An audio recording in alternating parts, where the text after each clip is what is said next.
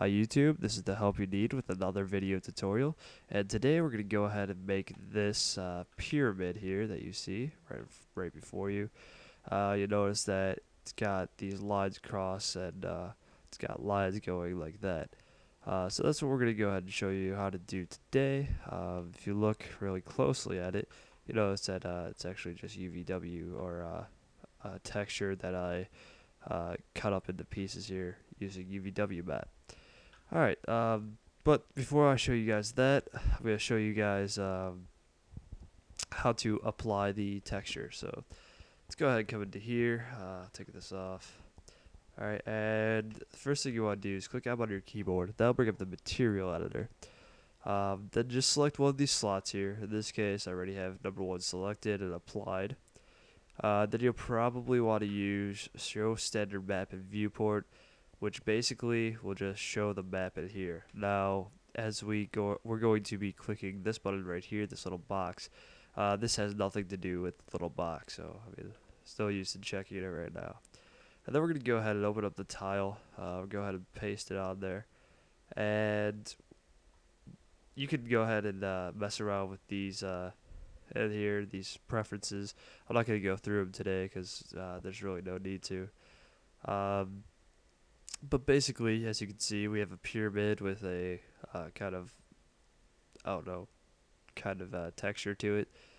And I'm going to show you guys how to do what I did a little bit earlier. Um, so let's go ahead and click UVW map. Alright, now right away when we UVW map, it kind of helps out the look of it uh, really quick. But it doesn't make it look uh, perfect or the way we want it to.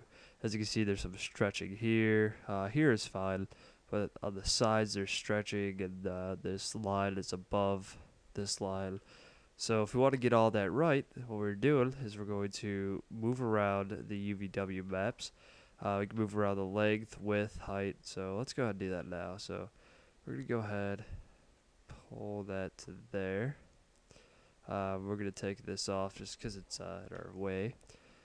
Um, with, we'll go ahead and pulled it there. They'll just uh, help us out a little bit with that. Uh, but in our case, what we want to do is we want to use the uh, oops wrong face uh, tool here. Basically, what that'll do is that will apply the texture to each face on the um, yeah object. Sorry about that couldn't think for a second. And uh, once it applies the texture to the object, um, you can rotate around and you can check for anything that you don't like. Um, and then you can do some UVW tiling. Uh, now this can be extremely useful for doing uh, the kind of effect that you want for like a pyramid, which is this. Um, in our case, just so we can still see our material. We're only going to add 7 um, to the UVW, and that'll keep everything in line. And you'll notice that everything's basically perfectly spaced until you get to the top, because you know, the top's a little different, but everything's perfectly spaced up to the top, um, which is great. And then down here, um, really, you don't need to worry about any of these right now. Um, but basically, what they do is they take the image and they fit it uh, depending on where you are and what you're doing. Alright, uh, well, I guess that's it for this tutorial. Um, I don't think it was very good. If you guys did, you know, rate it good. Um, but if you guys like this tutorial or you like some of my other tutorials, uh, please rate, comment, and, uh, and or subscribe.